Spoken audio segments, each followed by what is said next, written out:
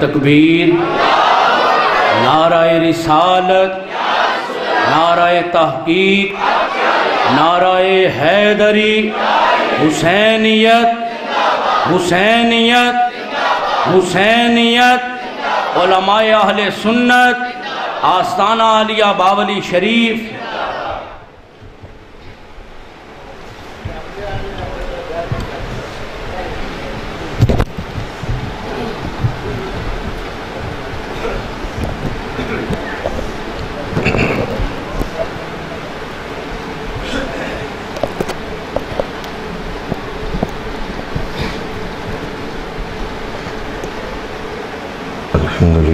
رب العالمين الصلاة والسلام على سيد الأنبياء والمرسلين وعلى آله الطيبين الطاهرين وأصحابه الراشدين المهديين أما بعد فأعوذ بالله من الشيطان الرجيم بسم الله الرحمن الرحيم ولنبلونكم بشيء من الخوف والجوع والجوع ونقص من الأموال والأنفس والثمرات.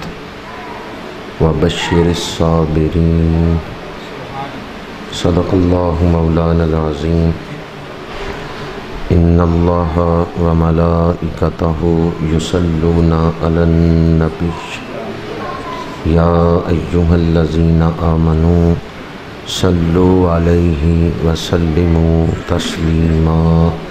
الصلاة والسلام عليك يا رسول الله وعلى آلك وأصحابك يا حبيب الله.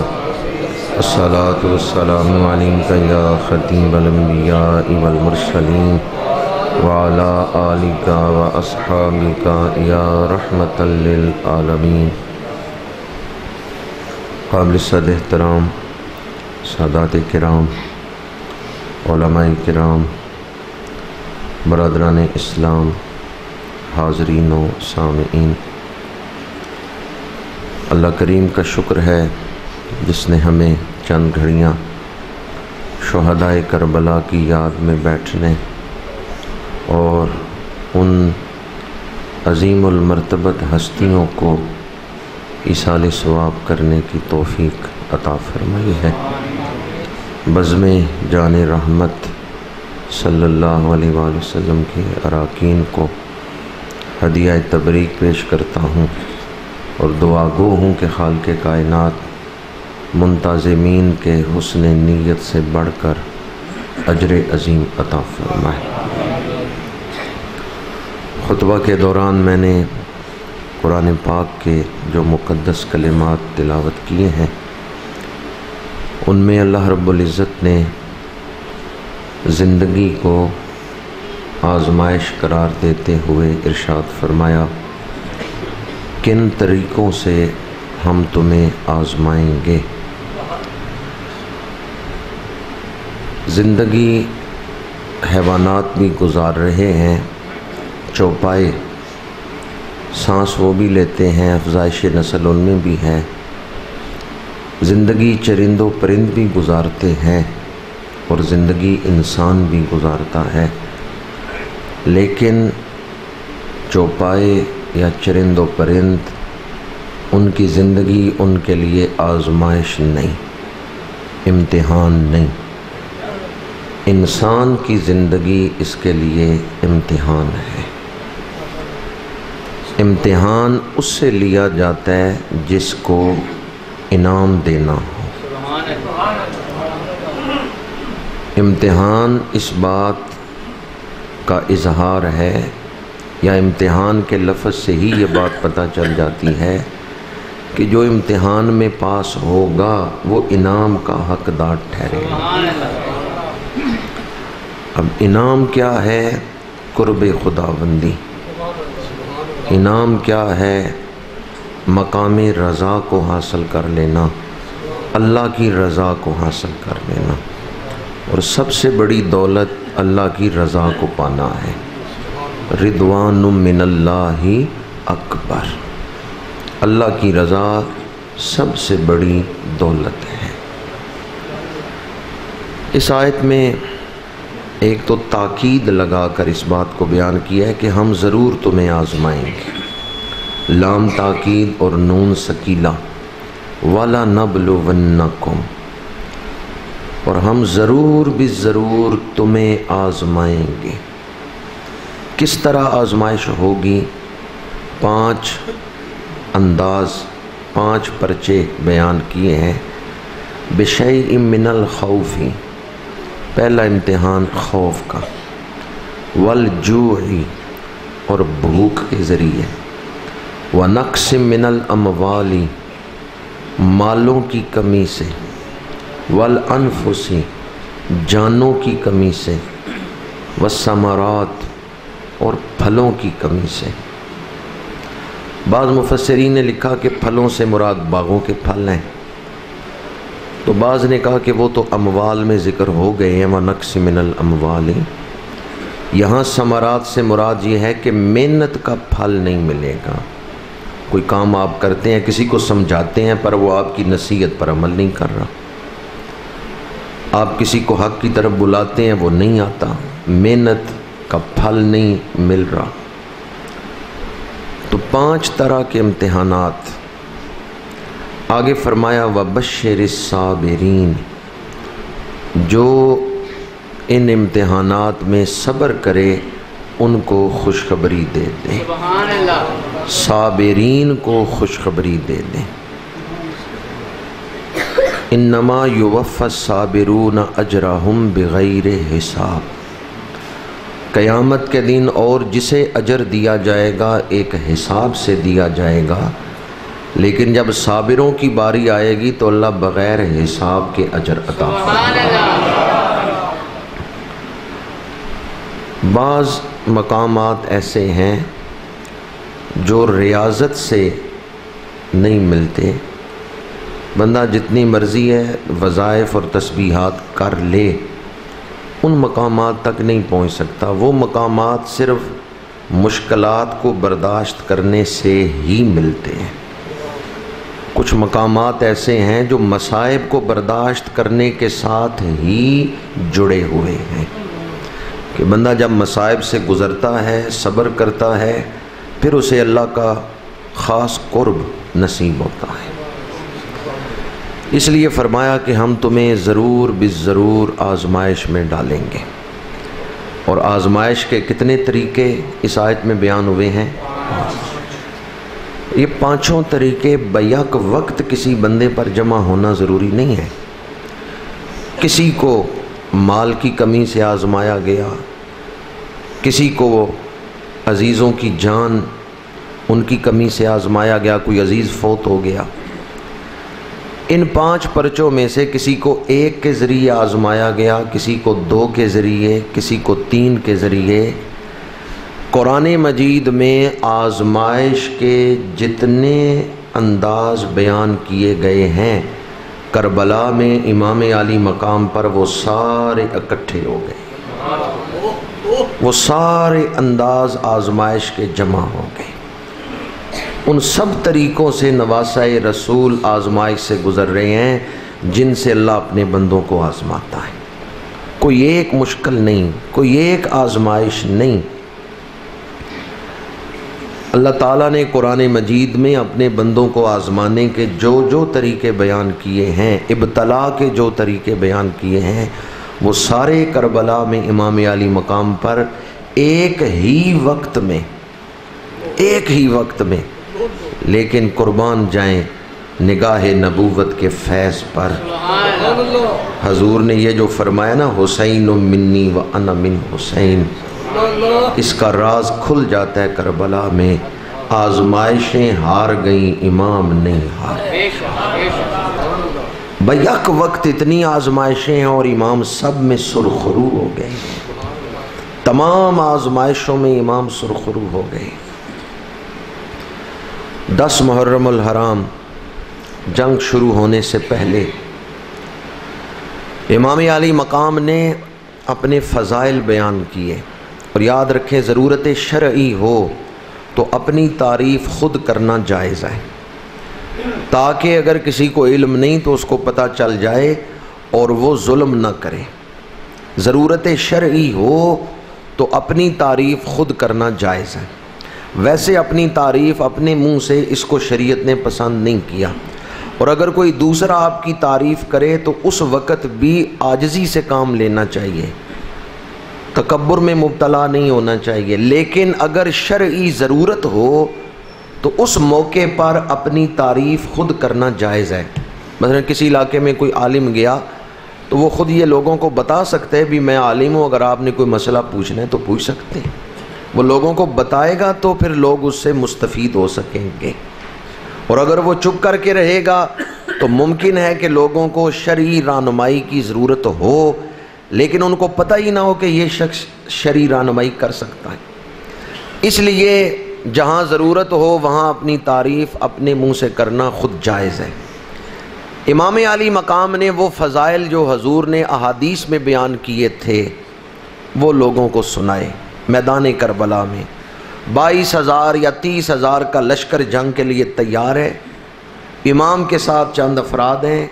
امام یزیدیوں کے سامنے خطاب کرتے ہوئے ارشاد فرماتے ہیں کہ حضور نے مجھے جنتی جوانوں کا سردار قرار دیا، مجھے اپنا پھول کہا۔ وہ احادیث جن میں فضائل ہیں وہ بیان کیں۔ تو آخر میں امام نے فرمایا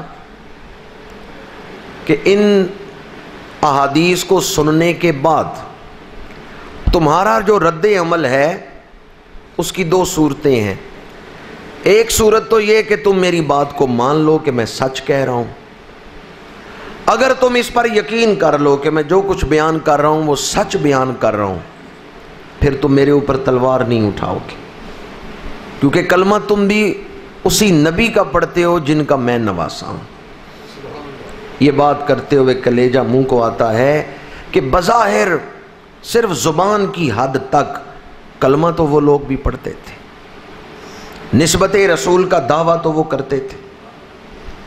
امام علی مقام نے فرمایا کہ جن کا تم کلمہ پڑھتے ہو، میں ان کا نواسا ہوں اور یہ حدیثیں انہوں نے فرمائی اب دو ہی صورتیں ہیں، یا تو تم میری اس بات پر یقین کر لو کہ میں سچ بول رہا ہوں۔ اگر تم یقین کر لو کہ میں سچ بول رہا ہوں، تو پھر تم میرے اوپر تلوار نہیں اٹھاؤ گے کہ یہ حدیثیں اللہ کے رسول کی ہیں۔ اور اگر تم کسی شک میں مبتلا ہو تو جاؤ ابو سعید خدری سے پوچھو۔ جاؤ حضرت جابر بن عبداللہ انصاری سے پوچھو۔ جاؤ حضرت انس بن مالک سے پوچھو۔ حضرت سہل بن سعد سائدی سے پوچھو۔ حضرت زید بن ارکم سے پوچھو۔ پانچ صحابہ کے نام حضور نے لیے۔ امام علی مقام نے پانچ صحابہ کے نام لیے اور فرمایا یہ اس وقت امت میں موجود ہیں۔ یہ جو فضائل میں نے تمہیں سنائے ہیں، یہ پانچوں ان کو بیان کرتے ہیں۔ جاؤ، میری عظمت پوچھنی ہے تو انس بن مالک سے پوچھو، جو دس سال حضور کی خدمت میں رہے ہیں۔ جاؤ، میری شان پوچھنی ہے تو حضور کے صحابی حضرت جابر بن عبداللہ انصاری سے پوچھو۔ میدان کربلا میں امام نے اپنی شان پر گواہ کون سے پیش کیے ہیں؟ سمجھ آئیے آپ کو؟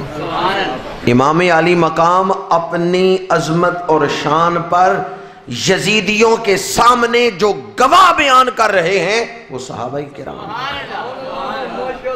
امام علی مقام فرماتے ہیں، یہ صحابہ اس وقت زندہ تھے۔ جو استیاں وصال کر چکی، ان کا نام نہیں لے رہے۔ ان کا نام امام بیان کر رہے ہیں جو اس وقت موجود تھے۔ فرمایا، جاؤ حضرت انس بن مالک سے پوچھو، یہ بسرے میں تھے۔ فرمایا جاؤ ابو سعید خدری سے پوچھو، یہ مدینہ منورہ میں تھے۔ فرمایا حضرت سال بن سعد سائدی، حضرت زید بن ارکم، حضرت جابر بن عبداللہ انصاری، ان سے پوچھو کہ اللہ کے رسول نے میری شان کیا بیان کی۔ اس سے پتا چلتا ہے، صحابہ اور اہل بیت آپس میں شیر و شکر۔ عبداللہ بن سبا یہودی نے ایک گروہ تیار کیا تھا، جس نے حضرت عثمان کو شہید کیا ہے۔ جس نے مولا علی شیر خدا کرم اللہ وجہ الکریم آپ کو شہید کیا ہے، جس نے حضرت امام حسن مجتبہ کو زہر دیا ہے، اور جس گروہ نے آج میدان کربلا میں نواس رسول سے بے وفائی کر کے آپ کو تہتے کر رہے ہیں، یہ وہی ایک گروہ ہے جس کے پیچھے یہودی زین ہے۔ جس کے پیچھے عبداللہ بن سبا یہودی کا زین تھا۔ تو امام علی مقام نے فرمایا، صحابہ میری عظمت بیان کرتے ہیں۔ جاؤ ان صحابہ سے جا کے میری شان پوچھو۔ لیکن یہ نصیحت کس کو ہوتی ہے جس کے دل میں فکر آخرت ہو؟ عبداللہ بن سبا یہودی نے جو چال چلی تھی وہ اتنی کامیاب ہوئی کہ آج بھی ہم اس سے نکل نہیں سکے۔ امام علی مقام نے جب یہ فرمایا کہ جاؤ ان صحابہ سے جا کے میری شان پوچھو، تو شمر اس وقت چلایا۔ اس نے کہا، ہم ان حدیثوں کا انکار نہیں کرتے۔ ہم ان حدیثوں کے حوالے سے بحث نہیں کرتے۔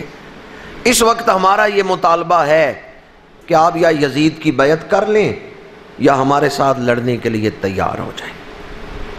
تو امام علی مقام کے ایک ساتھی تھے، حبیب ابن مظاہر۔ انہوں نے کہا، اے شمر، مجھے یہ بتا کہ قرآن میں یہ آیت کن کے لیے آئی ہے؟ ختم اللہ علی قلوبہم۔ وعلا سمعہم وعلا ابصارہم غشاوہ وَلَهُمْ عَذَابٌ عَظِيمٌ فرمایا، امام کے اس خطاب کو سن کر جو جواب تو دے رہا ہے، مجھے لگتا ہے تیرے دل پہ مور لگ چکی تو بھی اسی آیت والوں میں شامل ہے، جن کے دلوں پر مہر لگا دی گئی۔ حق کو دیکھ کر، حق کو سن کر بھی وہ حق کو قبول کرنے کے لیے تیار نہیں۔ مورکھنوں کی پند محمد پتھر نو کی پالا۔ پند کہتے ہیں نصیحت کو۔ مورکھ نو کی پند محمد پتھر نو کی پالا۔ دودی کاغ نوایا، انت کالے دا کالا۔ امام علی مقام نے نصیحت فرمائی ہے، امام چاہتے ہیں یہ تلوار چلانے سے بچ جائیں، یہ ابدی بدبختی سے بچ جائیں۔ لیکن ان پر نصیحت کا کچھ اثر نہیں ہوا۔ پتا چلا جس پہ نصیحت کا اثر نہ ہو، اس کے دل پر اللہ نے ہدایت کا دروازہ بند کر دیا۔ جب دل سخت ہو جائیں پھر مٹھی میں کنکریاں بھی کلمہ پڑھ لیں۔ بندہ خود کلمہ نہیں پڑھتا۔ ابو جال کی مٹھی میں کنکریوں نے کلمہ پڑھا، لیکن ابو جال نے کلمہ نہیں پڑھا۔ امام علی مقام جب اپنے فضائل بیان فرما چکے اور اس طرف سے اس بات کا اظہار ہو رہا ہے کہ دلوں پہ مور لگ چکی ہے۔ تو امام علی مقام نے فرمایا، کیا میری موجودگی میں تم اس لشکر پہ حملہ آور ہوگے جس میں نبی کا نواسا ہے؟ اس وقت عمر بن سعد نے پہلا تیر چلایا اور کہا، اے اہل قافلہ گواہ رہنا، پہلا تیر میں نے چلایا ہے۔ جب عمر بن سعد نے تیر چلایا تو پھر دشمنوں کو حوصلہ ملا۔ وہ سارے یزیدی کمانوں پہ تیر چڑھا کے تیر چلانے لگے۔ ادھر امام علی مقام کی طرف سے حبیب ابن مظاہر اور مسلم بن اوسجا، یہ دائیں اور بائیں تھے میمنہ اور میسرہ پر تھے۔ اور عبداللہ بن عمیر کلبی، وہ مبارزت طلبی اکیلے سامنے نکلے کہ کون ہے جو میرے مقابلے میں آئے گا۔ تو اس وقت یمین اور یسار یہ دو بھائی تھے، یہ عبداللہ بن عمیر کلبی کے مقابلے میں آئے۔ تو انہوں نے آگے پوچھا، تیرا نام کیا ہے؟ عبداللہ بن عمیر کلبی نے اپنا نام بتایا۔ عبداللہ بن عمیر کلبی کی بھی ایک خوش قسمتی کی پوری داستان ہے کہ جب کوفے سے لشکر آ رہا تھا کربلا کی طرف، تو یہ اپنے گھر کنویں پر کام کر رہے تھے۔ تو انہوں نے پوچھا یہ لشکر کس طرف جا رہا ہے؟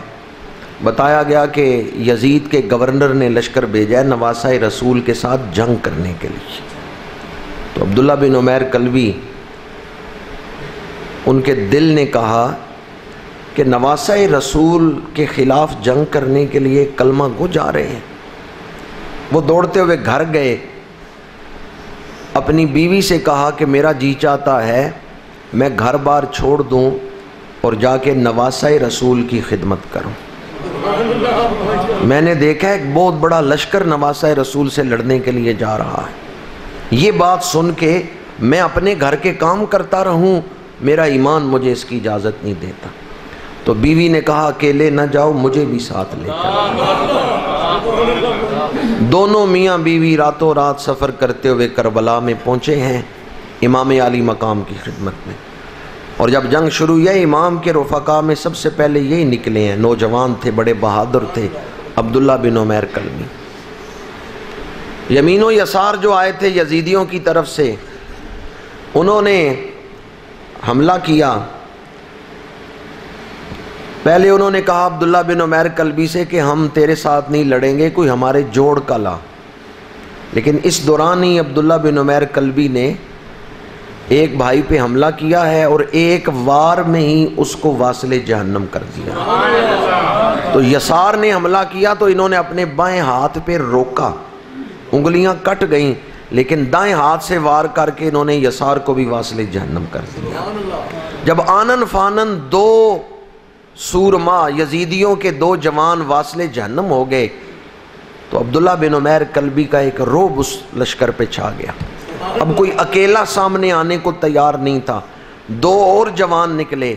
عبداللہ بن عمیر کلبی نے ان دونوں کو بھی واصل جہنم کیا۔ چار یزیدی مر چکے تھے۔ تو شمر نے کہا ایک ایک کر کے نہ جانا، پورا جتھا حملہ کرو۔ تو اب جب پورا جتھا آگے بڑھا، اکیلے عبداللہ بن عمیر کب تک کھڑے رہتے؟ شدید زخمی ہوئے، زمین پہ گرے۔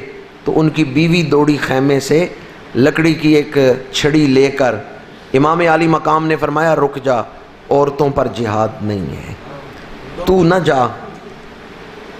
اس خوش نصیب خاتون نے کہا، اس نے کہا، میرا خامن جہاد کرتے ہوئے دنیا سے جا رہا ہے، میں بھی چاہتی ہوں جہاد کرتے ہوئے جاؤں۔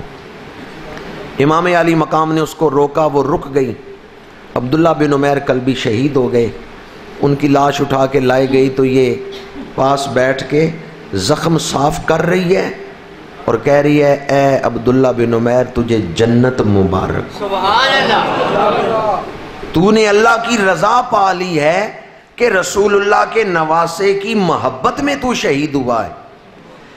یہ عبداللہ بن عمیر کلبی کی بیوی اس انداز میں اپنے خامند کو مبارک دے رہی تھی کہ یزیدیوں کے دل متاثر ہوئے بغیر نہ رہ سکے۔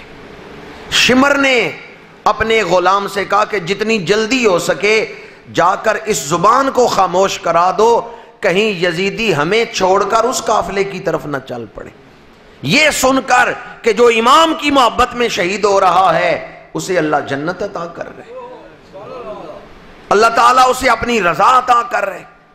پھر چشم فلک نے یہ منظر دیکھا کہ یزیدی آیا اور اس نے عبداللہ بن عمیر کلبی کی بیوی کے سر پر عصا مارا ہے۔ اور اس کا ماتھا پھٹا ہے اور وہ بھی اپنے خامند کے ساتھ ہی شہید ہو گئی۔ میاں اور بیوی دونوں شہید ہو گئے۔ اس عورت کو کیوں شہید کیا گیا؟ کیوں اپنے خامند کو مبارک دے رہی تھی تو اس میں بھی تبلیغ تھی۔ اس میں بھی فکر آخرت تھی۔ یا اپنے شہید خامند کے پاس بیٹھ کے کہہ رہی تھی، تجھے جنت کی مبارک تو نے اللہ کی رضا کو خرید لیا ہے۔ اس کو بھی شہید کر دیا گیا۔ امام علی مقام کی چند شانیں عام جنگ برپا ہونے سے پہلے ظاہر ہوئیں۔ یہ بھی اللہ تعالیٰ کی طرف سے ایک نشانی تھی۔ یہ بھی اتمام حجت کی ایک صورت تھی۔ اور یہ بھی اس بات کا اعلان تھا کہ دنیا کو پتہ چل جائے نواسہ رسول بے اختیار نہیں ہے۔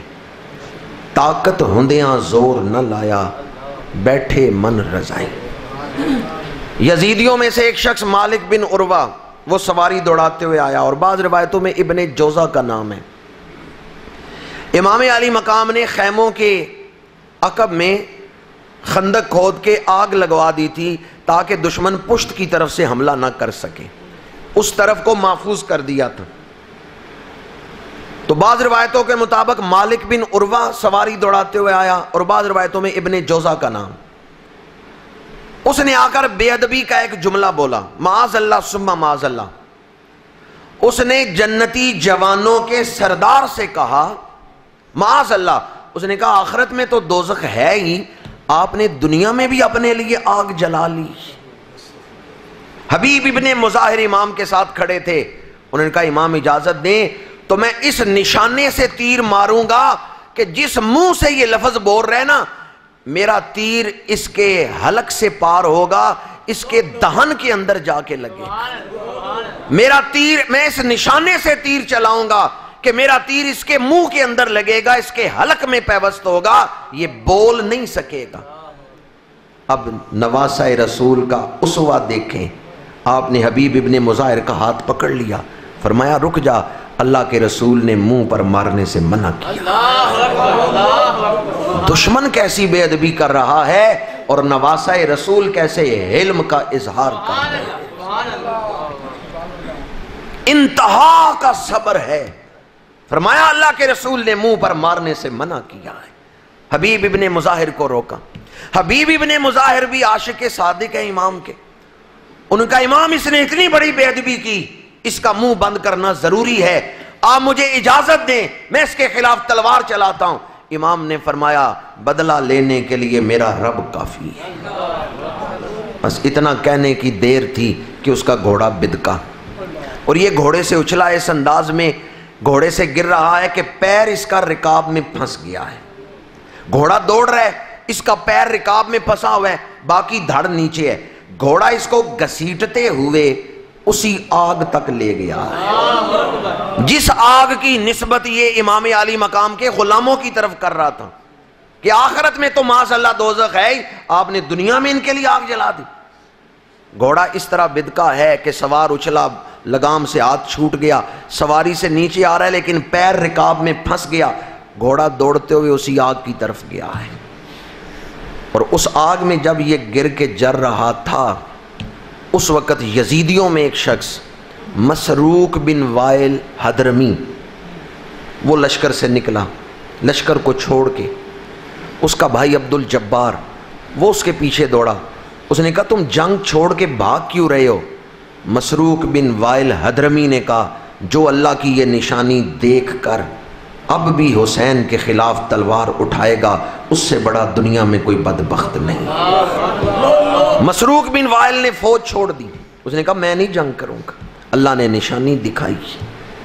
لیکن اس ایک شخص کا جنگ چھوڑنا اس بات کا اظہار تھا کہ یہ اللہ کی طرف سے نشانی تھی۔ کسی ایک دل پر اس کا اثر ہوا ہے اور جن پر اثر نہیں ہوا، ان کے دلوں پہ مور لگ چکی۔ مسروق بن وائل حدرمی نے اپنے بھائی عبد الجبار سے یہ کہا۔ اس نے کہا، اتنی بڑی نشانی دیکھ کر اب بھی کوئی حسین کے خلاف تلوار اٹھائے، اس سے بڑا بدبخت کوئی نہیں۔ یہ اللہ نے تمہیں نشانی دکھائی ہے کہ ان کے خلاف تلوار نہ چلاؤ۔ دیکھو جو لاف زنی کرتے ہوئے گیا تھا، جس نے بے ادبی کا جملہ بولا، اس کا حشر کیسے ہوئے؟ حسین نے تو تلوار نہیں چلائی۔ نواسہ رسول نے تو اسے تیر نہیں مارا۔ کون ہے جو اسے آگ تک لے گیا ہے؟ ان بدشا ربی کا لشدید تمہیں ایک موقع دیا ہے، بچنے کا بچ جاؤ۔ مسروق بن وائل حدرمی جنگ چھوڑ کے الگ ہو گیا۔ دو شخصوں کا ذکر ملتا ہے، ایک جنگ چھوڑ کے الگ ہوا، امام کے ساتھیوں میں نہیں آیا۔ لیکن دوسرا وہ تھا جس نے یزیدیوں کو چھوڑا ہے، تو امام کے غلاموں میں آگے کھڑا ہوا اور وہ آپ سب سمجھ گئے ہوں گے، حضرت حر بن یزید ریاحی۔ حر بن یزید ریاحی جو ہیں، ان کے حوالے سے مختلف روایات ہیں۔ ایک روایت تو یہ کہ جب جنگ شروع ہونے لگی، اس وقت وہ آئے۔ جب شمر نے جنگ کا اعلان کیا ہے، حملے کا حکم دیا ہے، اس وقت سب سے پہلے حر نے روکا ہے۔ اس نے کہا، میں اب تک یہ سمجھتا تھا کہ تم مذاکرات کے ذریعے مسئلہ حل کرو گے نواسہ رسول پہ وار نہیں کرو گے۔ اور یہ بات تو میری توقع کے خلاف ہے کہ تم نواسہ رسول پہ وار کر رہے ہر نے شمر کو روکا، لیکن شمر نے کہا کہ مجھے جو آرڈر ملا ہے میں اس پر عمل کروں گا۔ میں فوج کو روکوں گا نہیں۔ ایسی لڑائی ہوگی جس میں سر کٹیں گے، جس میں بازو کٹیں گے، جس میں موتیں ہوں گی۔ تو ہر نے کہا ٹھہر جاؤ، مجھے پھر اپنا مقام بدل لینے دو۔ جب جنگ ہوگی تو میں دوزخیوں میں نہیں کھڑا ہوں گا، میں جنتیوں میں جا کے کھڑا ایک روایت تو یہ ہے کہ جنگ کے آغاز میں ہی ہر نے امام کی طرف آنے کا فیصلہ کر لیا۔ اور ایک روایت یہ ہے کہ جب روفقا سارے شہید ہو گئے تھے تو پھر امام نے فرمایا تھا، حل من ناصرین اس وقت ہر اپنی سواری پہ پہلو بدلتا ہے، پسینہ ہے اس کے چہرے پر، شمر پاس ہی ہے۔ شمر اپنی سواری پہ ہے۔ شمر نے کہا ہر تو کوفے کے بہادروں میں سے ہے۔ آج میں دیکھ رہا ہوں کہ تو ڈر گیا ہے۔ تیرے چہرے پر پسینہ آ گیا ہے۔ سبب کیا ہے؟ اس وقت ہور نے کہا شمر میرے ایک طرف جنت ہے، ایک طرف دوزخ ہے۔ فیصلہ کرنے کا وقت ہے کہ میں کس طرف قدم اٹھاؤں۔ اس لیے میں مسترب ہوں، اس لیے میرے چہرے پہ پسینہ آ گیا۔ شمر سمجھ گیا کہ اب ہر اپنے مقام کو بدلنے والا ہے۔ شمر نے روکا۔ شمر نے کہا، اس طرف نہ جانا، ورنہ شام سے پہلے پہلے تو شہید کر دیا جائے گا، سر تن سے جدا ہوگا۔ اس طرف ہی رہو۔ میں انعام کا وعدہ کرتا ہوں۔ میں تمہیں فلاں علاقے کی حکومت دلاؤں گا۔ میں تمہیں سفارش کر کے اتنا مال و دولت دلاؤں گا۔ ہور کو انعام کا لالچ دیا اور موت سے ڈرایا۔ ہور نے دونوں باتیں سن لی، موت کی دھمکی بھی، انعام کی لالچ بھی۔ لیکن ہور نے اپنی سواری کو ایڑی لگائی۔ اور سواری کو ایڑی لگاتے ہوئے کہا، شمر تو جتنی بھی دولت دے گا، وہ آخر فنا ہو جائے گی۔ جو دولت آج حسین دے رہے وہ لا سوال ہے۔ وہ ختم ہونے والی نہیں ہے۔ یہ نعرہ ہر کا تھا جس وقت فوج شام سے نکلا کہ دیکھو یوں نکلتے ہیں جہنم سے خدا والے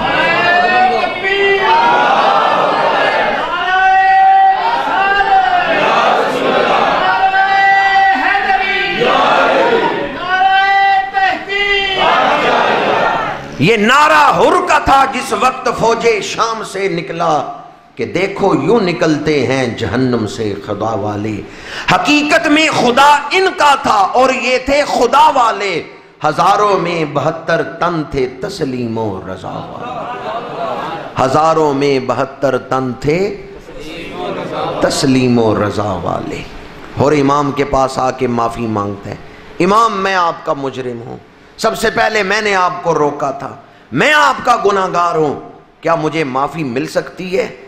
دیکھیں امام علی مقام کی وسعت قلبی، امام کا حلم۔ امام نے فرمایا، تیری ماں نے تو تیرا نام ہی ہور رکھا ہے۔ تیری ماں نے تو تیرا نام ہی رکھا ہے کہ آزاد، جا تو دوزک سے آزاد۔ اور پھر امام کے رفقا میں شامل ہو کے امام کی طرف سے شہید ہوتے ہیں۔ اگر ہور یزیدیوں میں کھڑے رہتے اور یزیدیوں میں شامل رہتے، کتنا عرصہ عیش و عشرت کر لیتے؟ پچاس، ساٹھ سال پھر دنیا سے جانا تھا۔ قیامت تک جب بھی یزیدیوں پہ لانت ہوتی اور بھی اس لانت میں شامل ہوتے۔ لیکن ایک فیصلے نے ہور کا مقام بدل دیا ہے۔ اب جب شہدائے کربلا پہ سلام پڑھا جاتا ہے ان میں ہور شامل ہوتے ہیں۔ یہ لانتوں کے بجائے سلام کے مستحق کیسے بن گئے؟ دعوت فکر دینا چاہتا ہوں ایک فیصلہ۔ ایک فیصلہ بر وقت ایک فیصلہ۔ بر وقت ایک فیصلہ تھا جس نے لانتوں سے نکال لیا ہے اور قیامت تک سلاموں کا حقدار بنا دیا۔ حضرت حر کی اولاد میں کوئی فاتحہ نہیں پڑھ رہا۔ یہ تو امام سے محبت کرنے والے قیامت تک حر کے لیے فاتحہ پڑھتے رہے جب بھی کہیں گے نا شہدائے کربلا کو یا اللہ اس ختم کا ثواب پہنچے، حر بھی شامل ہیں یا نہیں شامل یہ قیامت تک ان کے لیے فاتحہ خانی ہو رہی ہے۔ بر وقت ایک فیصلہ۔ تیسری بار کہہ رہا ہوں، آپ کا جو مستقبل ہے نا، وہ آپ کے ہاتھ میں ہے۔ انسان کا مستقبل اللہ نے انسان کے ہاتھ میں دیا ہے۔ لئی سلیل انسان اللہ ماسا اور دوسرے مقام پہ فرمایا، من عمل صالحا من ذکر او انسا و مؤمن فلنحینہو حیاتا طیبہ۔ آپ مستقبل میں کیا بننا چاہتے ہیں؟ یہ آپ کا فیصلہ ہے۔ بعض لوگ کہتے ہیں، حالات کا جبر ہے۔ حالات اجازت نہیں دیتے۔ حالات بڑے سخت ہیں۔ حالات کا جبر کوئی چیز نہیں۔ اگر حالات کا جبر انسان کو سرات مستقیم پر چلنے سے روک سکتا، تو ہور یزیدیوں کو چھوڑ کے حسینیوں میں نہ آتے۔ یزیدیوں کی تعداد بائیس ہزار، امام علی مقام کے ساتھ ہی سو سے بھی تھوڑے ہیں۔ ہور کو ادھر موت نظر آ رہی ہے۔ ہور کو ادھر دنیا کا نقصان نظر آ رہا ہے۔ لیکن پھر کیوں آ گئے ہیں ادھر؟ پتا چلتا ہے، حالات کا جبر کوئی چیز نہیں۔ یہ آپ کا اپنا فیصلہ ہے کہ آپ کس چیز کو اختیار کرتے ہیں۔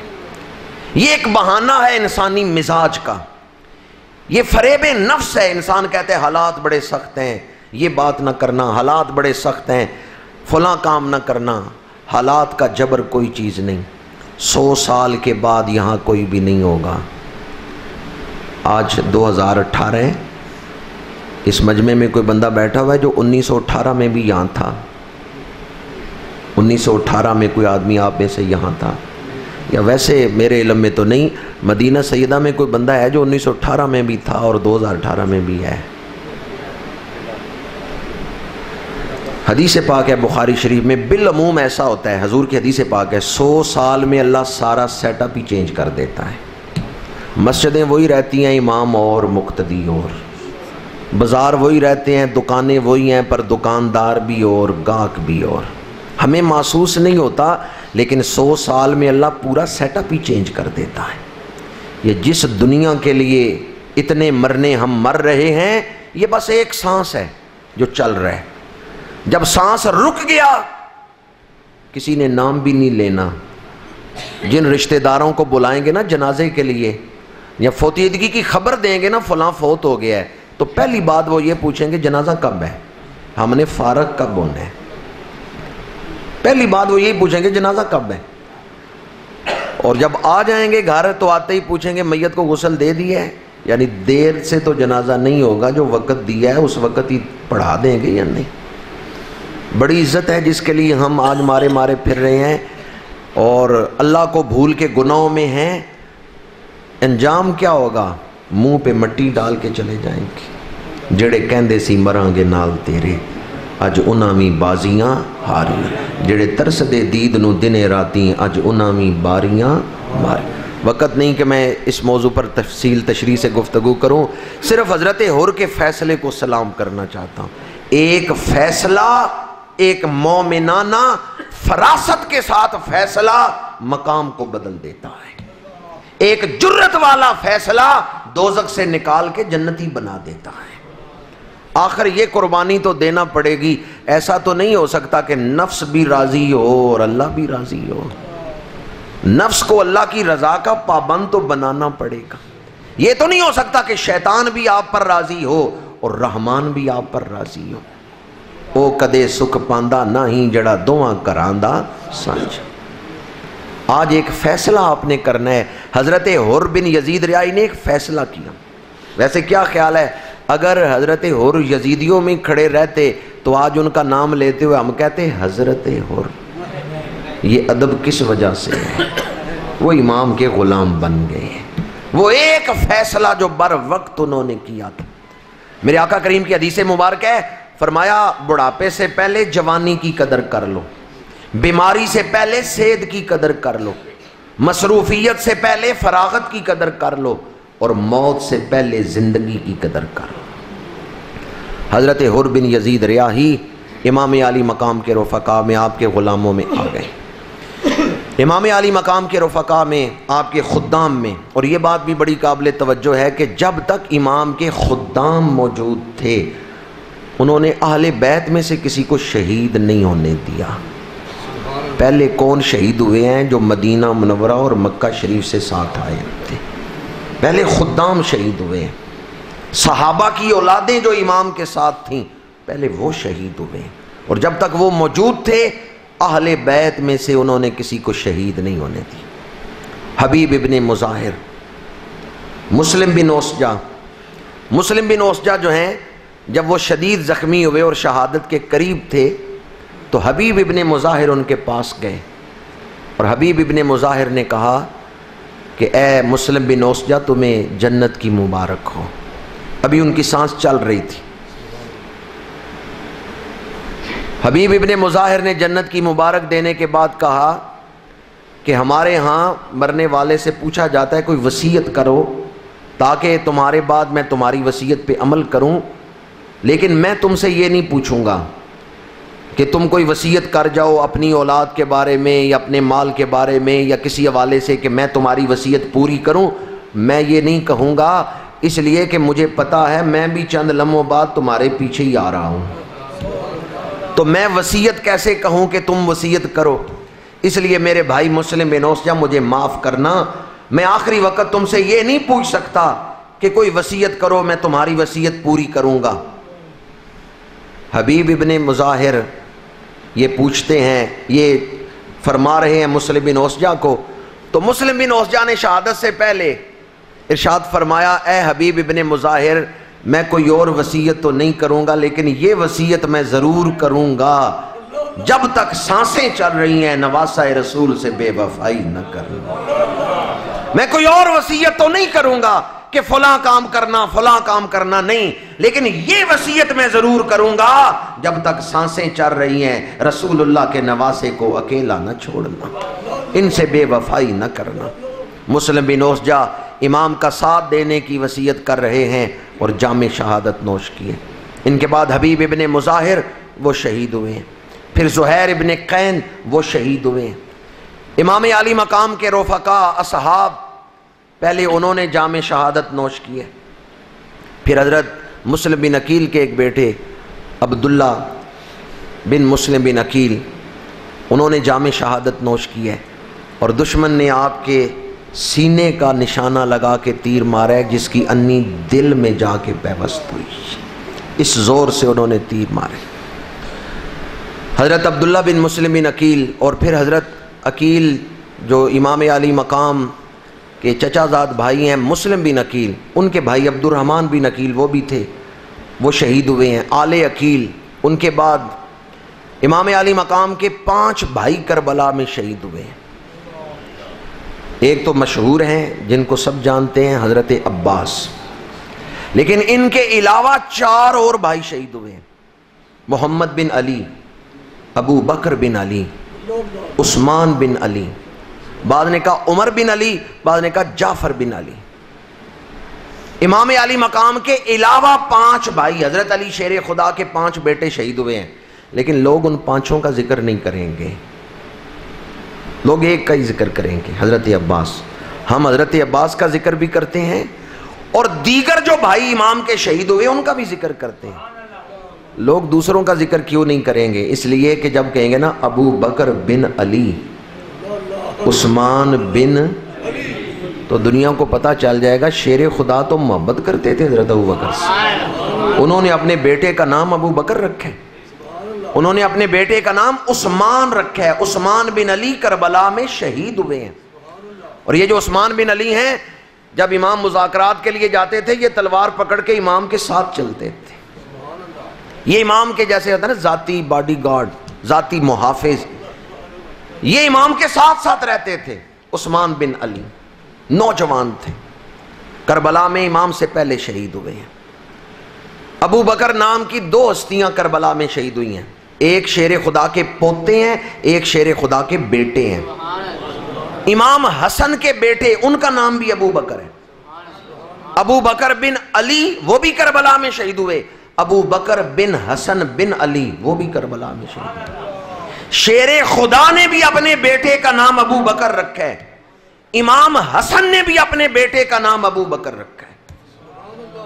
میرا معمول نہیں کہ کتابوں کے حوالے دے کے گفتگو کو بوجھل بناؤں، لیکن کسی دوست کو اگر شوق ہو تو میں دیگر مسالک کے جو لوگ ہیں ان کی تاریخ والی کتابوں سے ثابت کر سکتا ہوں کہ ابو بکر بن حسن بن علی، ابو بکر بن علی یہ کربلا میں شہید ہو گئے یہ صرف ہمارے مورخین نے نہیں لکھا، دیگر جماعتوں کے جو مورخین ہیں، انہوں نے بھی اس بات کو بیان کیا ہے کہ حضرت علی شیر خدا کے بیٹے کا نام ابو بکر تھا۔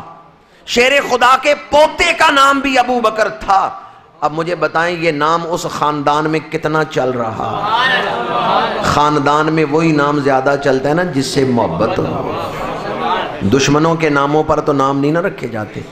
وہ آدمی ہاتھ کھڑا کرے جس نے بیٹے کا نام فرون رکھا ہے۔ دشمنوں کے ناموں پر نام، وہ خدا کا دشمن ہے فرون کیوں ہم نام رکھیں اس کے نام؟ وہ ہاتھ کھڑا کرے جس نے بیٹے کا نام یزید رکھا ہو۔ وہ دشمن ہے۔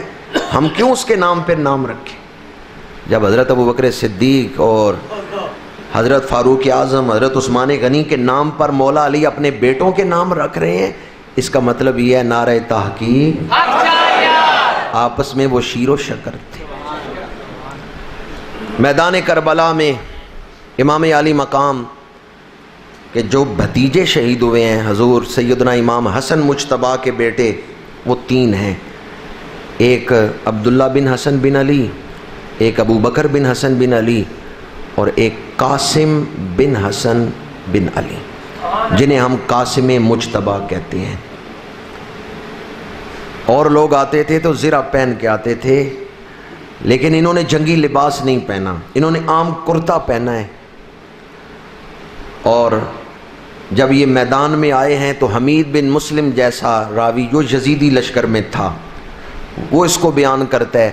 کہتا ہے، جب امام حسن کے بیٹے قاسم آئے میدان جنگ میں، تو یوں لگتا تھا کہ چاند زمین پر اتر آئے اتنے سونے تھے۔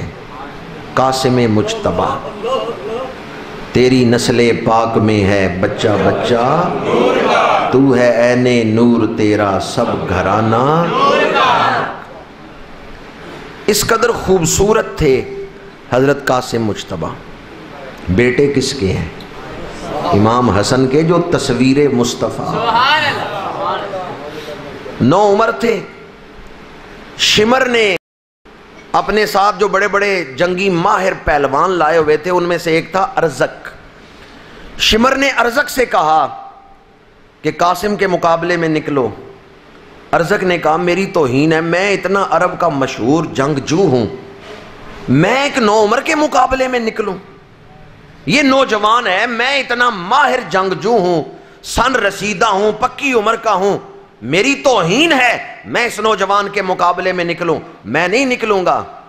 شمر دشمن تھا، لیکن اس وقت اس کے منہ سے حضرت امام قاسم کی ایک منقبت نکلی ہے۔ اس نے کہا ارزک اس کی عمر نہ دیکھو، یہ دیکھو پوتا کس کا ہے۔ یہ نہ دیکھنا کہ نو عمر ہے، تو بچہ ہے، نہیں، یہ پوتا شیر خدا کا ہے۔ یہ علی المرتضی کا پوتا ہے۔ ارزک تکبر میں تھا۔ اس نے کہا، شمر، مجھے کیا ڈراتے ہو کہ شیر خدا کا یہ پوتا ہے؟ میرے چار بیٹے ہیں، میں ایک بیٹا بھیجوں نا، تو وہ ان کا سر تن سے جدا کر دے گا۔ اس نے اپنے بڑے بیٹے کو بلایا۔ کہا جاؤ قاسم کا سر لے کے آؤ۔ بڑا بیٹا گیا، واصل جہنم ہو گیا۔ قاسم مجتبہ کو ایک زخم نہیں لگا سکتا۔ تاریخ پڑھ کے دیکھیں، یکے بعد دیگرے ارزک نے اپنے چاروں بیٹے بھیجے ہیں۔ چاروں بیٹے بھیجے ہیں۔ چاروں بیٹے جہنم میں پہنچے ہیں۔ قاسم مجتبہ کو زخمی نہیں کر سکے۔ اب ارزق خود غصے میں نکلا کہ چاروں بیٹے مر گئے، میری تو نسل ختم ہو گئی۔ خود سواری دوڑاتے ہوئے نکلا۔ اور حضرت قاسم مجتبہ پہ حملہ آور ہوا۔ اس وقت حضرت قاسم مجتبہ نے فرمایا اے ارزق ہوش کر کس پہ حملہ کر رہا ہے؟ میں علی شیر خدا کا پوتا اور پھر آپ نے ارزق کو بھی واصل جہنم کر دیا۔ اپنی طرف سے کوئی بندہ مرے نا تو سپا سالار خوش نہیں ہوتے کہ میرا بندہ مر گیا۔ لیکن ارزق جب مرا تو شمر ہنس پڑا۔ اس نے کہا یہ کہتا تھا نوجوان ہے اب اس کو پتا چلا ہے پوتا کس کا ہے۔ ارزق نے کہا تھا میں اس نو عمر کے مقابلے میں کیوں جاؤں؟ علی کا گھر بھی کیا گھر ہے کہ جس گھر کا ہر ایک بچہ جسے دیکھو وہی شیر خدا معلوم ہوتا شمر نے پھر حالانکہ جناب امام قاسم مشتبہ انہوں نے زرہ بھی نہیں پہنی ہوئی انہوں نے صرف کرتا پہنا ہوا تھا۔ شمر نے اب کسی ایک کو ان کے مقابلے میں نہیں بھیجا، وہ یہ منظر دیکھ چکا تھا کہ پانچ بہادر مر چکی ہیں۔ چار جنگ جو بیٹے اور ایک ان کا باپ جو بہت ماہر تھا لڑائی میں، وہ سب کچھ بھول گیا تھا۔ یہ بھی تاریخی کتابوں میں آتا ہے کہ جب ارزق حملہ آور ہوا حضرت امام قاسم مشتبہ پر، تو آپ نے فرمایا، ارزق تو اتنی تیزی میں آیا ہے اپنے بیٹوں کی موت کو دیکھ کر کہ تو اپنی سواری کی زین بھی کس نہیں سکا، وہ ڈھیلی ہے۔ تو حملہ آور ہوگا تو گر جائے گا۔ اس نے جب سواری کی زین کی طرف دیکھا تو حضرت امام قاسم مجتبہ نے آگے بڑھ کے حملہ کیا۔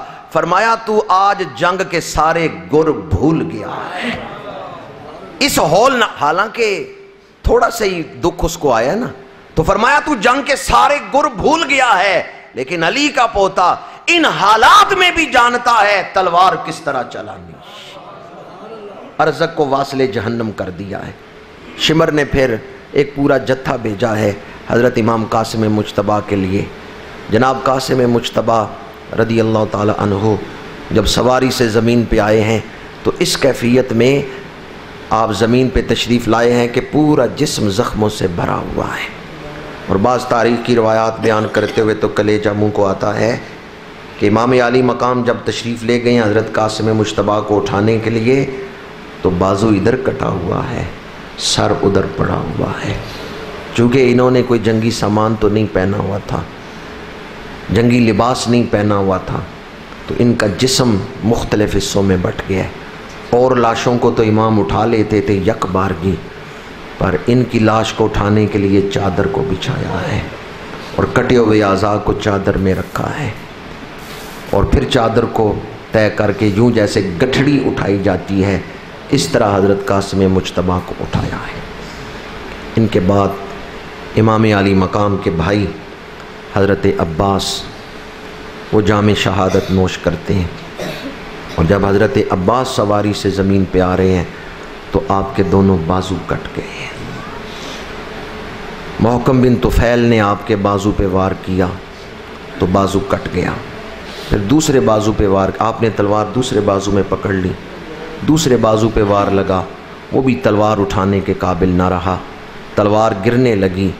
تو اس وقت آپ کے ہونٹوں پہ وار کیا گیا، چہرے پہ وار کیا گیا۔ حضرت عباس سواری سے زمین پہ آ رہے ہیں۔ تیس سال عمر مبارک ہے، بھرپور جوانی ہے۔ عباس جیسا اور کوئی شیر نہیں ہے۔ عباس کے تو نام میں بھی زیر نہیں ہے۔ جب سواری سے زمین پہ آئے امام تشریف لے گئے۔ تو کیا دیکھا حضرت عباس کی آنکھیں خون سے بھری ہوئی ہیں؟ چونکہ ہونٹ پھٹے ہوئے تھے، چہرے پہ زخم تھا۔ جب زمین پہ گرے ہیں تو خون سارا آنکھوں کی طرف چلا گیا، آنکھیں بھری گئیں خون سے۔ امام تشریف لے گئے، اپنے بھائی کے پاس بیٹھے۔ عباس، آنکھیں کھولو، مجھے دیکھو۔ عباس عرض کرتے ہیں، آقا حسین، اپنے رومال سے میرا چہرہ صاف کر دیں۔ میری آنکھیں خون سے صاف کر دیں۔ میں چاہتا ہوں آخری وقت آپ کا دیدار کرتے ہوئے دنیا سے جاؤں۔ امام نے ان کا سر اپنی گود میں رکھا ہے اور ان کا چہرہ صاف کیا ہے۔ تو حضرت عباس نے آنکھیں کھول کے امام کی طرف دیکھا، مسکرائے۔ امام علی مقام نے فرمایا، عباس سینہ پھٹا ہوا ہے، بازو کٹے ہوئے ہیں اور تو مسکرا رہا ہے۔ آپ نے ان کے حوصلے کی داد دی۔ تو عباس عرض کرتے ہیں، آقا حسین، میں اس لیے مسکرا رہا ہوں جیسا تکیہ مجھے آخری وقت ملا ہے، ایسا تکیہ تو کسی کو نہیں ملے گا۔ نواسا رسول، جنتی جوانوں کے سردار، ان کے زانوں پہ سر رکھ کے میں جان دے رہا ہوں۔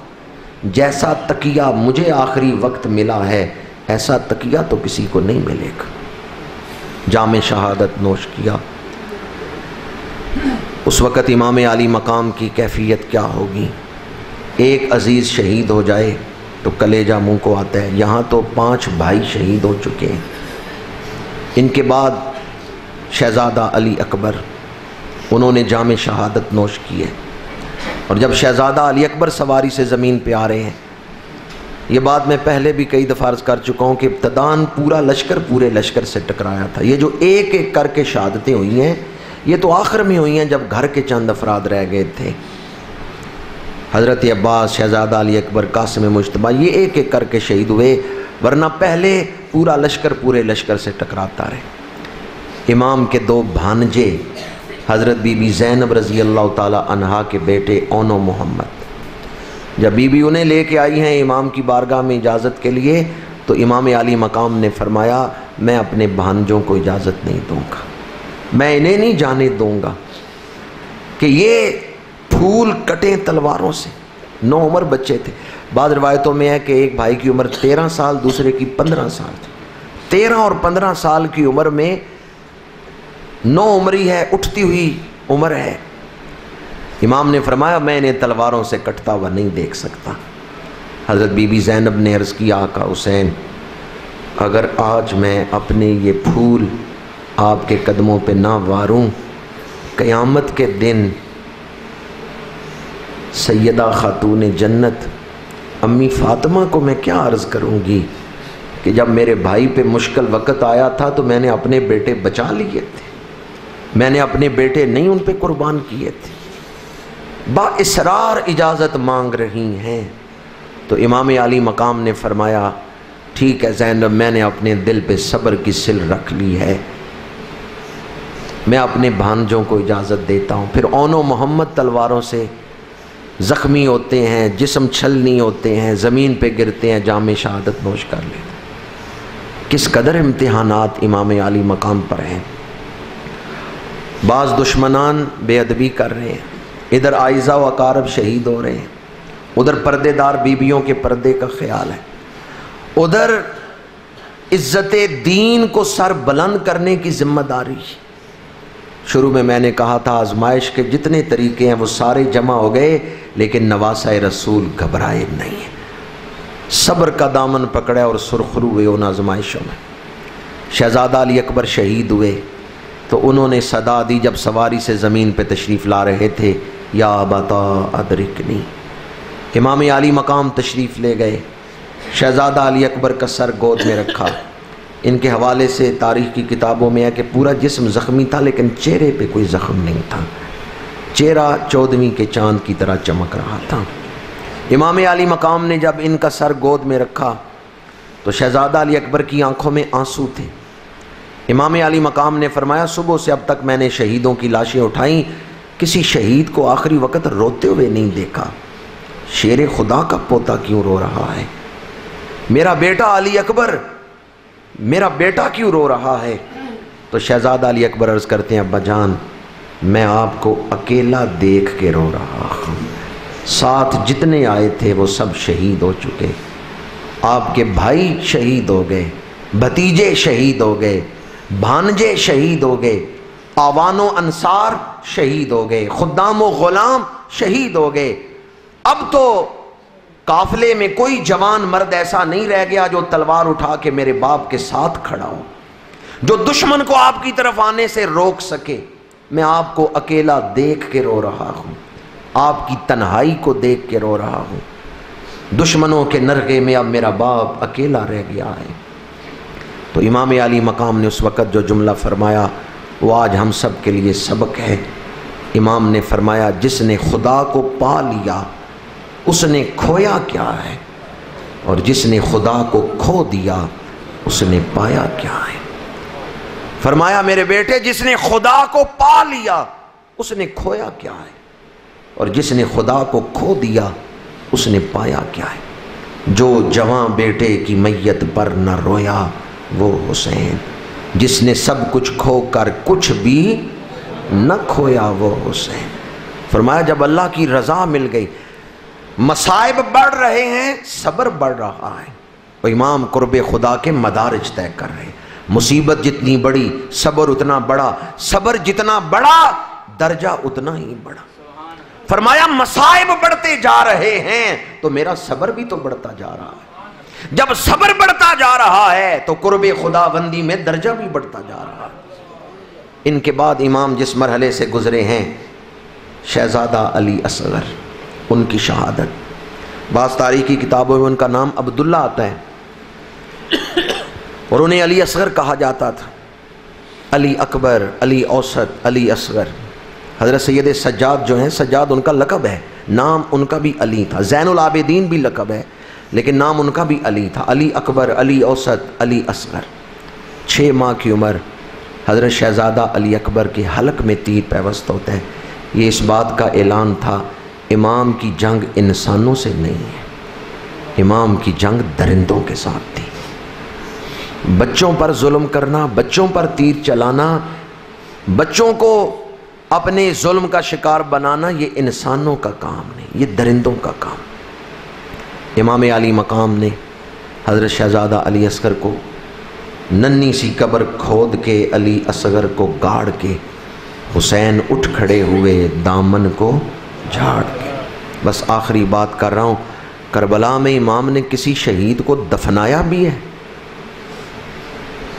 ایسا موقع ہی نہیں ملا مسلسل جنگ ہو رہی تھی، کسی شہید کو دفنایا نہیں۔ ہاں لاشیں اکٹھی کی ہیں، ایک جگہ شہیدوں کو لٹایا ہے، شہید کی لاش اٹھا کے لاتے تھے، لیکن کسی شہید کو دفنایا نہیں، سوائے حضرت علی اصغر کے۔ ننی سی قبر کھود کے علی اصغر کو گاڑ کے، حسین اٹھ کھڑے ہوئے دامن کو۔ بعض علماء نے لکھا ہے، حضرت شہزادہ علی اصغر کو کیوں دفنایا ہے؟ باقیوں کو تو نہیں دفنایا۔ انہیں کیوں دفنایا ہے؟ امام جانتے تھے، جب میں شہید ہو جاؤں گا، پھر گھوڑے دوڑیں گے لاشوں پر۔ جوانوں کی لاشوں پر گھوڑے دوڑیں تو اور بات ہے، چھ ماہ کے علی اصغر کے جسم پر گھوڑے نہ دوڑیں۔ کیونکہ اگر چھ ماہ کے شہید کے بدن پر گھوڑے دوڑے تو اسی وقت قیامت آ جائے گی۔ عذاب آئے گا۔ امام جانتے تھے جب میں شہید ہو جاؤں گا، پھر گھوڑے دوڑیں گے لاشوں پر۔ کہیں چھ ماہ کے شہید کے بدن پر گھوڑے نہ دوڑے۔ یہ بھی امام نے امت کی خیر خائی کی ہے کہ چھوٹے شہید کو دفنا دیا ہے ورنہ اگر شہزادہ علی اصغر کے بدن مبارک پر گھوڑے دوڑتے، اللہ کی ناراضگی کا کیا عالم ہوتا؟ امام علی مقام نے جو دکھ برداشت کیے، انہیں بیان کرنا آسان ہے، انہیں سمجھنا مشکل ہے۔ آج ان الفاظ پر گفتگو کو سمیٹتا ہوں۔ امام علی مقام کا عزم و ہمت قیامت تک دنیا آپ کے صبر کو سلام پیش کرتی رہے گی۔ قیامت تک اہل حق آپ کے صبر سے رہنمائی لیتے رہیں گے۔ مشکل سے مشکل ترین حالات میں بھی امام علی مقام نے دین کی کسی قدر کو پائمال نہیں ہونے دیا۔ کسی مورخ نے نہیں لکھا کہ امام یا آپ کے رفقا میں سے کسی کی نماز قضا ہوئی۔ اللہ تعالی ہمیں دین پر عمل کرنے کا وہ جذبہ نصیب فرمائے۔ کل انشاءاللہ العزیز امام علی مقام کا پیغام شہادت وہ آپ کے سامنے بیان کروں گا۔ اللہ تعالی ہمیں ان شہداء کی عظمت کو سمجھنے اور شریعت متحرہ کے مطابق ان کی یادیں منانے اور ان کے دیے ہوئے سبق پر عمل کرنے کی توفیق عطا فرمائے۔ یہ دکھ کس کے لیے امام نے برداشت کیے؟ دین کا پرچم سر بلند رکھنے کے لیے۔ اور آج اگر کوئی دین سے بے وفائی کرے، تو ہم خون حسین سے، شہادت حسین سے وفا کرتے ہوئے دین کے پرچم کو بلند رکھیں گے۔ کی محمد سے وفا تو نے تو ہم۔ جی؟ آج محرم شریف کی نویں رات ہے۔ کل نو محرم ہے پرسوں دس محرم ہے۔ پہلی گفتگو میں جب پہلے دن میں یہاں حاضر ہوا تھا تو یہ بات میں نے عرض کی تھی کہ مسلم شریف میں حدیث مبارک ہے محرم کا روزہ پچھلے گناہ معاف کروا دیتے ہیں یو کف روسانہ تل ماں دیا جسے اپنے گناہ بخشوانے کی فکر ہے وہ ان دنوں کی قدر کرے۔ نو محرم کو روزہ رکھے، دس محرم کو روزہ رکھے۔ وہ جو فضیلت ہے، وہ تو دس محرم کے روزے کی ہے، لیکن حضور نے شاد فرمایا تھا، آئندہ سال ہم دو روزے رکھیں گے۔ تو میں آپ کی، یہ بات میں آپ کو یاد دلانے کے لیے کہ کل نو محرم ہے، پرسوں دس محرم ہے۔ آپ دونوں دن روزے رکھیں۔ کل بھی افطاری کے بعد، یا افطاری سے پہلے آپ دعا کریں اور انشاءاللہ محفل میں بھی ہم اصال ثواب کریں گے۔ اور پرسوں دس محرم ہے، پرسوں بھی آپ لوگ ختم مبارک شہدائے کربلا میں شامل ہوں اور پرسوں کا بھی روزہ رکھیں۔ یہ دو دن برکتوں والے ہیں اور عظمت والے ہیں اور شان والے ہیں۔ اللہ تعالیٰ ان دنوں کی قدر کرنے اور شریعت مطالعہ کے مطابق شہداء کی یاد منانے کی توفیق عطا فرمائے۔ وما علینا اللہم صلی علی سیدنا و مولانا محمد وعلا آلہ و وبارک وسلم۔ الہ العالمین جو تلاوت ثنا خانی بیان، جو عمال حسنہ کیے گئے انہیں اپنی بارگاہ عالیہ میں درجہ قبولیت عطا فرما اور اپنی جناب سے اعلیٰ اجر و ثواب عطا فرما۔ الہی ان ختمات شریفہ کا ثواب، ان اعمال حسنہ کا ثواب، اس محفل کا ثواب۔ امام الانبیاء سید المرسلین، خاتم النبیین صلی اللہ علیہ وآلہ وسلم کی بارگاہ علی قدر میں ہدیتاً توفتاً پیش کرتے ہیں، قبول و منظور فرما۔ آپ کے وسیلہ جلیلہ سے تمام انبیاء کرام خلفۂ راشدین، آل اطہار حسنین، کریمین، شہیدین، طیبین، طاہرین قمرین منیرین، حضرت سیدنا امام حسن، حضرت سیدنا امام حسین رضی اللہ تعالیٰ عنہما کی بارگاہوں میں پیش کرتے ہیں، قبول فرما۔ تمام شہدائے کربلا کو اصال ثواب کرتے ہیں، قبول فرما۔ ہم سب غلاموں کی طرف سے یہ تحفہ شہدائے کربلا کی بارگاہوں تک پہنچا دیں الہی شہدائے کربلا کے دراجات کو مزید بلندیاں اور رفتیں عطا فرما۔